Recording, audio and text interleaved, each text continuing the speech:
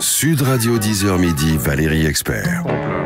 Avec vous sur Sud Radio et avec Gérard Collard, libraire à Saint-Maur. Comment ça va? Très bien. Très bien. Alors on lit quoi cette semaine? Alors on lit quoi? Euh, Déjà, je vous donne les signes. Euh, oui, alors ça, j'ai adoré David Joy. Alors David Joy, Nos vies en flammes, avec une jolie couverture. Ouais, euh, c'est vraiment ouais. extraordinaire. Alors C'est un franchement, écrivain américain hein, qui oui, est euh, brillant. hein, c'est vraiment un ouais. des brillants, un des plus br- brillants de sa génération actuellement.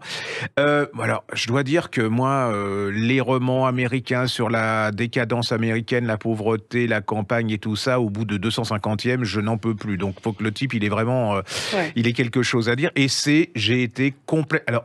C'est- Ça tient à quoi hein C'est la couverture. J'ai adoré la Ouais, couverture. C'est joli, c'est euh, Ah des ouais, feux, c'est euh, oui, parce des que- feux dans une forêt. Dans une forêt, parce qu'on est, alors, on dans est les dans les Appalaches. Appalaches, hein, donc euh, c'est l'histoire d'un monsieur, bon, qui, bah là, il, il est fini sa vie. Enfin voilà, il est, il y a, il rien de spécial. Il, il la supporte plutôt qu'autre chose, mais il a un fils, et ce fils, il est tombé dans la drogue, mais vraiment, euh, il s'appelle Ricky.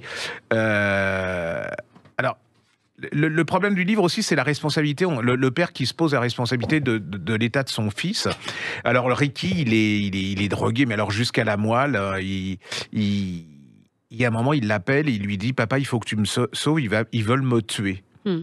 Alors le fils va mourir. Je vais pas tout vous raconter parce qu'on va encore me dire, mais le, le fils euh, va mourir hein, et le père décide de se venger. Il décide que ça peut plus continuer comme ça, que les dealers peuvent, peuvent pas prendre le, le pouvoir.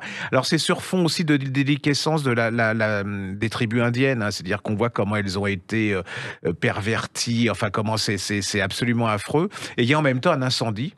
Et là, c'est là comment on peut prendre son destin en main. Est-ce que quelqu'un peut prendre son destin en main face à, à, à l'impossible? C'est absolument magnifique, c'est plein de force. Moi, je suis tombé euh, vraiment. me- Mm. Ce père m'a Ouais, bouleversé. touché, hein. Ouais. Et puis en plus, ça pose vraiment des questions parce que bon, j'avoue que bon, en fait, ça pose la question est-ce qu'on peut prendre son destin en main? Est-ce que en fait, on, laisse tout tomber? Euh, La c'est aussi, euh, c'est rare aussi, c'est la responsabilité des parents par rapport à. Ouais, alors, il aux se enfants, pose la question. la question de Est-ce la- qu'il dit qu'à un moment, il aurait dû euh, dire non, enfin de de de le baffer hein, quelque part, de dire ça peut pas continuer comme ça. C'est absolument magnifique, c'est prenant. Alors c'est là, je vous le fais genre euh, analyse littéraire et tout, mais en fait c'est une histoire. où Vous êtes pris complètement dedans entre l'incendie, la drogue, la vengeance. euh, C'est vraiment et puis les femmes Ouais. aussi. Il y a des femmes qui ont un rôle absolument Important. important. C'est même assez symptomatique de tous les romans américains en ce moment. C'est-à-dire qu'on a l'impression que les hommes ils sont ils sont tous en retrait, enfin, et que c'est les femmes qui prennent le pouvoir et qui décident. Alors là, c'est un peu différent parce que c'est le, le père qui prend le pouvoir, mais il n'aurait pas été euh, pu faire ce qu'il voulait sans sa sœur, sans la, sa sa femme qui est morte. C'est vraiment euh, bouleversant. C'est un grand, grand, grand bouquin. Et même si vous êtes un peu lassé de, ce- de ces grands romans américains de 600 pages qui vous racontent la décadence, mais c'est la décadence américaine. hein. Ouais, ouais. Là, on voit que ce pays, il a quand même un problème quelque part. Euh, c'est magnifique. Quoi, Bon. c'est vraiment. euh, Alors ça s'appelle Nos vies en flammes, David Joy et c'est chez euh, Sonatine. Très beau, très belle couverture effectivement. Ah oui, et alors là, je, alors je prends le, le, le parce que alors, c'est vrai que les gens en ce moment, ils ont envie de, de respirer. hein. Ouais. Ça, c'est vrai que. Mais vous pouvez y aller, hein. c'est un peu dur en ce moment, mais ça va pas non plus vous casser le Non, moral. hein. C'est vraiment un livre palpitant avec euh, du suspense. Et là, j'ai adoré. C'est comme la couverture. quoi, Alors, vous allez voir un sur. livre euh, de, de découverte Odette et le taxi jaune de Isabelle Artus. C'est chez Charles. J'ai adoré. Alors, c'est une Ouais. vieille dame, elle a 80 ans. Euh, bah, elle habite à Paris, elle est, voilà, euh, elle est très bien. Et puis, mais elle, elle a une tocade, c'est qu'elle part euh, à- à- chaque jour à l'aéroport pour imaginer la vie. Elle, elle s'assoit hein, dans, dans, dans, dans la salle d'attente de l'aéroport, je sais pas comment, si on dit, on doit Ouais, dire ouais, une salle ouais, d'attente. ça. Et euh, elle imagine la vie des gens, elle les regarde, elle est heureuse, elle revient chez elle, elle a vécu. Moi, j'ai trouvé déjà l'idée assez sympa. Puis la, la- la dame, elle a l'air comme ça, assez sympa. Et un jour, il se passe un truc, c'est qu'elle ne revient pas. C'est-à-dire que qu'est-ce qu'elle est devenue?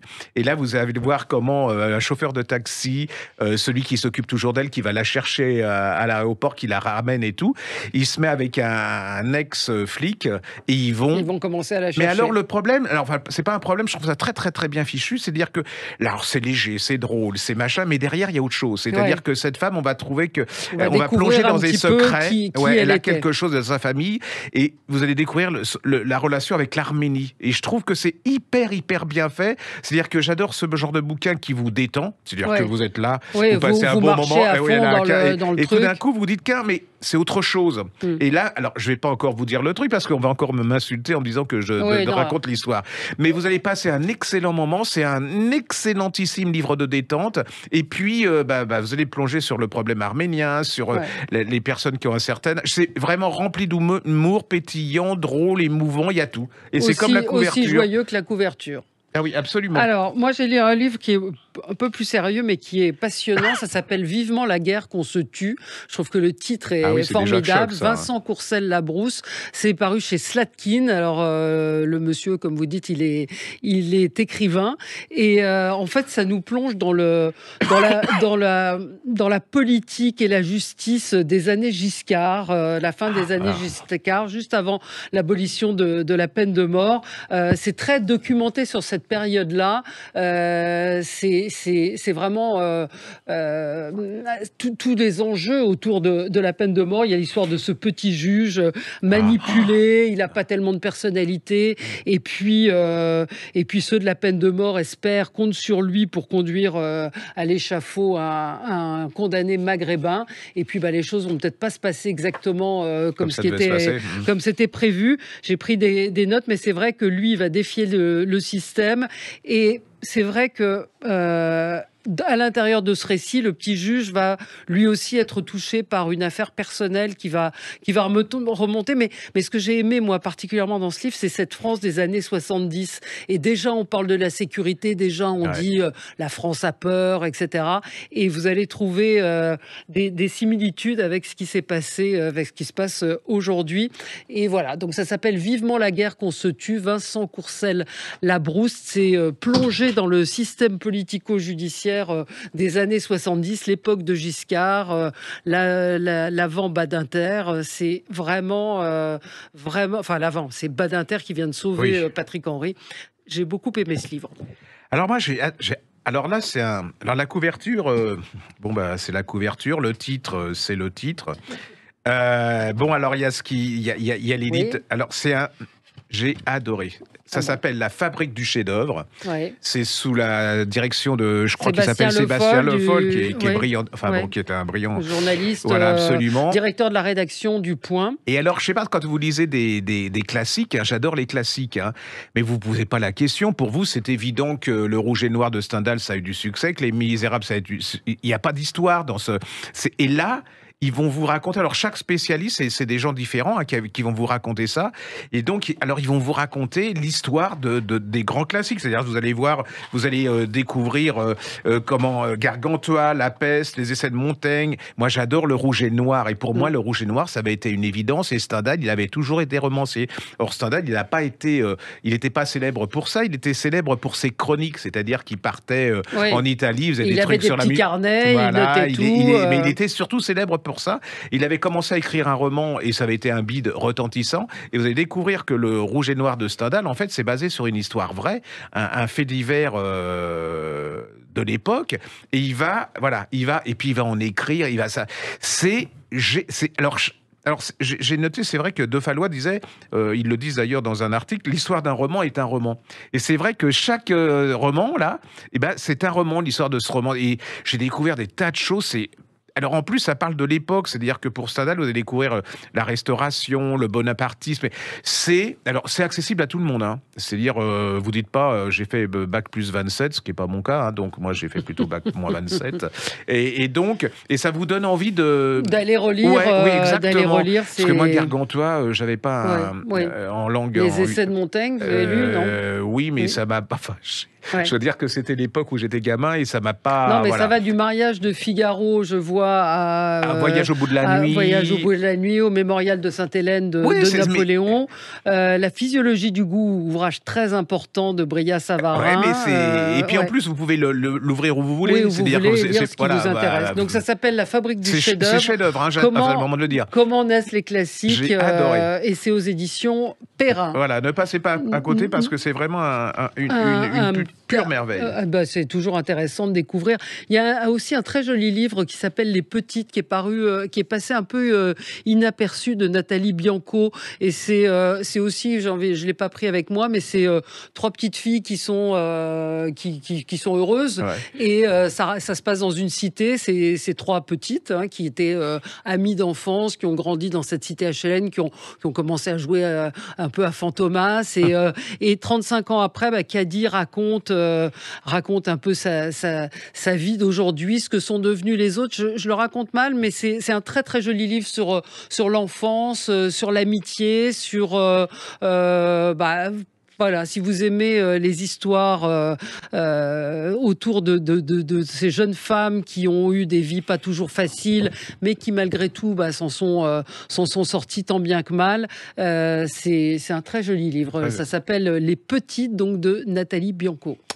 Alors, on va, je, euh, vous savez que j'adore euh, les folles enquêtes de Magritte et Georgette de David Monfils chez Robert Laffont, qui a eu ce. Alors moi j'étais, je doutais un peu quand elle a commencé en me disant c'est pas possible, elle va pas réussir. Alors vous, tout le monde, enfin c'est le truc que tout le monde connaît Magritte. Hein. Avec Georgette, c'était sa femme, ils avaient un chien.